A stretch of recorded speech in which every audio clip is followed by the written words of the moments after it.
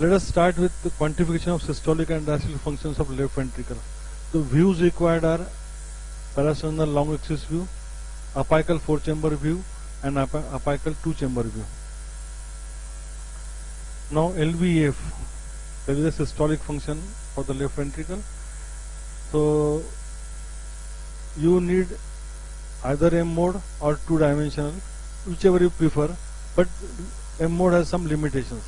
Is better to prefer 2D, but it also has limitations. The limitations are if you cannot identify the endocardium properly, you are going to miscalculate it.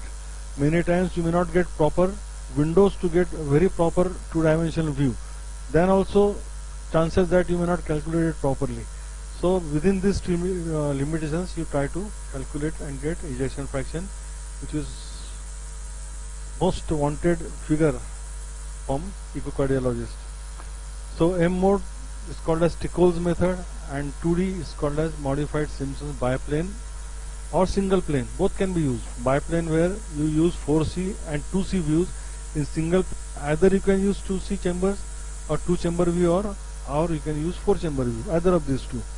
Normal values are 54 to 74. Less than 54 it may be impaired ejection fraction. More than 74 it may be a dynamic hyperdynamic state where you can find many patients with uh, thyrotoxicosis, anemia where there may be more than normal ejection fraction. So just now I have told you how to take ejection fraction or how to calculate ejection fraction by M mode. So you have to take M mode plane at the tip of mitral valve. This is what you will see and then you have to measure this just I have demonstrated that you get to measure at IVS then posterior wall uh, LV cavity then posterior wall in diastole and same thing in systole. This will calculate ejection fraction for you. This is a good and fast method. Views can be taken easily. You should not include you should not include sigmoid septum while calculating ejection fraction. That is to be excluded and if it's not possible to exclude then better not to take uh, view in this method or not to calculate ejection fraction by M mode. This is again this is biplane. That is you are you are using two planes four chamber and two chamber.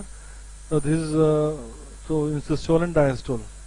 So this just now I have demonstrated you this method. Uh, then LV diastolic dysfunction. This is all systolic ejection fraction is a systolic function of the left ventricle. Now diastolic functions equally important. The commonest cause of left ventricular failure is diastolic dysfunction which is which is not given due importance. So you must also look for diastolic dysfunction. So diastolic dysfunction is evaluated by Doppler studies. So EA ratio, just now I have shown you E waves and A waves. So normally E is taller than A wave in normal situation in type 1 diastolic dysfunction there may occur reversal of EA ratio. That that means the A becomes taller than E wave. A becomes taller than E wave. There is a physiology or, or pathophysiology behind this. Normally left ventricle when relaxes there is sudden gush of blood from left atrium to left ventricle. That is called as rapid ventricular filling phase. 90% of blood is ejected from left atrium to left ventricle during that phase. That is why E is taller than A wave in normal situation. But when left ventricle becomes more stiffer, so this does not occur. The rapid ventricular phase is reduced. Less blood enters in the left ventricle during rapid ventricular phase because the left ventricular pressure rises and it closes the mitral valve earlier. It seizes the blood to come from left atrium to left ventricle. So, so the rest of the job is done by A wave. That is because of left atrial contraction. So A wave becomes taller. So this is the first feature of type 1 diastolic dysfunction that there is a reversal of EA ratio. So EA becomes taller than E wave. Okay. Now type 2 is called as pseudo normalization where the atrial size increases and pressure increases. Then the ventricle. So EA ratio is maintained back, but it's a thing. It's worsening from type 1 to type 2. where EA ratio will be maintained as normal but LA is enlarged. And type 3 is where EA ratio is more than 2, uh, 1.5 to 2. In our case it was 1.99, almost 2 with dilated LA is called as type 3 diastolic dysfunction. We will to make it out chart which shows you various uh, measurements we take for diastolic dysfunction. So EA ratio as I told you should be uh, normally should be 0.08 or more. Grade 1 it should be more than 1. Grade 2 it will be pseudo normalization that is it will be again back to 0.8 to less than 2. 3 is more than 2. Then E this is for tissue Dopplers. I have not included this in this study. Then from TR as I told you TR velocity. If the TR velocity is more than 2.8 meters per second. Then this may be normal. But if TR velocities are more more than 2.8 then this is grade 2 or grade 3 so combination of EA ratio more than 2 then dilated left uh, dilated left atrium and the LA volume more than 34 all these things point towards type 3 diastolic dysfunction. So this is what I'm trying to show you. Uh, here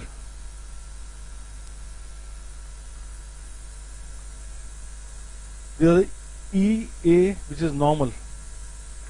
This is dt that is de deceleration time of E wave. You can see look at the length of the arrow here the length of the arrow are almost same this so this is type 1 this, this is normal here the A has become taller deceleration time is maintained. Here deceleration time has reduced because of the closure of the flow from left atrium during diastole because of the raised left ventricular pressure. There is reversal of the EA again it has become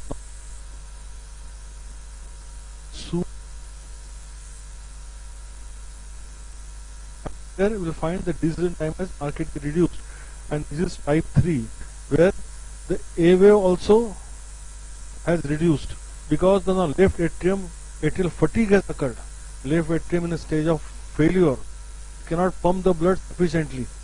So there is a marked increase in EA ratio and marked shortening of the DT that the velocity is from the right side that is TR velocity will be increased because of the raised uh, uh, pulmonary pressure secondary to left ventricular failure and there will be dilatation of left atrium. All these things together will let you know about the increasing or deteriorating condition of the diastolic dysfunction. This is all about systolic and diastolic function of the right ventricle, uh, left ventricle. Now let us move to left uh, right ventricle. So quantitative RV size that we have just now seen how it is to be measured. So as I told you the ratio of RV to LV is 1 is to 3 in normal condition. So this ratio may be altered. This ratio may be at par with LV or even maybe larger than LV. If that is occurring then this is the point will favor in suggest you of right ventricular overload. So RV enlargement will be less than LV because for RV to enlarge for large to compete with LV and then it go, should go beyond that. Then only can be apparent that RV is enlarged. So RV will be at LV still it will be enlarged. 1 is to 3 ratio if it becomes 1 is then also you can call dilated RV. RV may be larger than LV. So this all this combination can occur in right ventricular enlargement. You can measure this size then RV dimension in diastole at base you can measure these parameters and that will let you know actual dilatation RV. So if you find that the normal dimension uh, less than 4 then need RV to be less than 3.5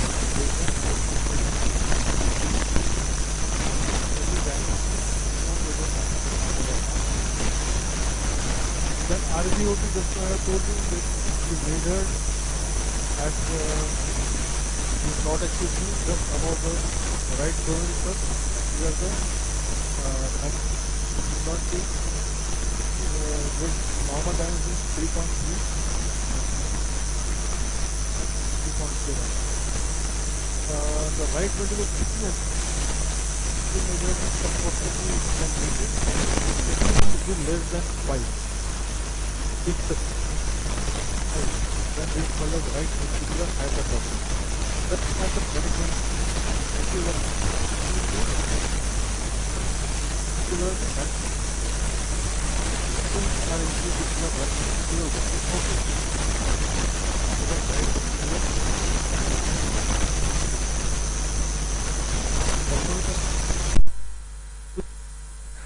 and the right ventricular volume overload find in patient tricuspid regurgitation.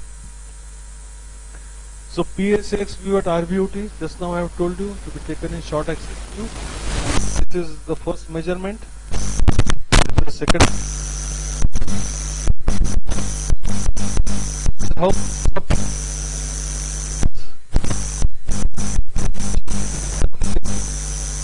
if it's more because of right ventricular pressure overload. So let us move to right ventricular systolic function. tricuspid annulus plane systolic excursion. It means during systole, this is a tricuspid annular plane which moves towards apex. When the LV contracts, this plane moves upward towards apex.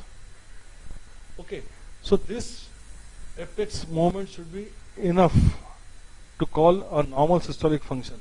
For this instance, in this patient, the TAPSE is 20 millimeters, means it is more than 16. It is normal, but if it is less than 16, then means this moment is reduced, and this is because of the decrease in the systolic function of the left right ventricle. So, drop in TAPSE suggests of decrease right ventricle systolic pressure. This is this picture is depicting the RVH. Now the features of RVH, because many times you have to face this problem in ICU, where where we have seen inferior vena cava for a clot.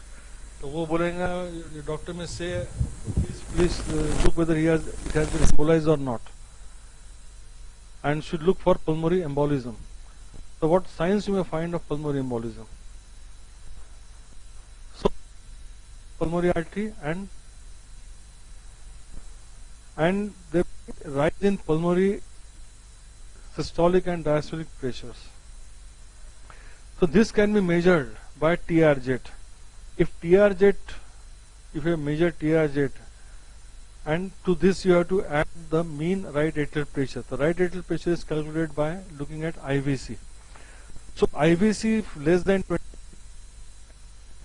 if collapse is more than 50% then IVC pressure is less than 5. Okay.